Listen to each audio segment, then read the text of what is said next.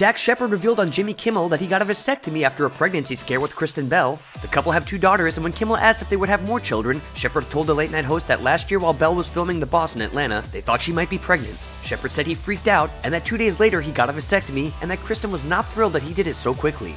Michael Strahan opened up about his first week at Good Morning America. Phenomenal, amazing, love it, Strahan said at his MSX fashion presentation in New York on Wednesday. Strahan left live with Kelly and Michael after four years. Superman is a single man again. Henry Cavill has called it quits with girlfriend Tara King. Cavill reportedly broke things off with 19 year old King. A source told Us Weekly she was in too deep and he didn't want anything too serious. Despite the breakup news, the two seem to have remained friends and have been photographed together.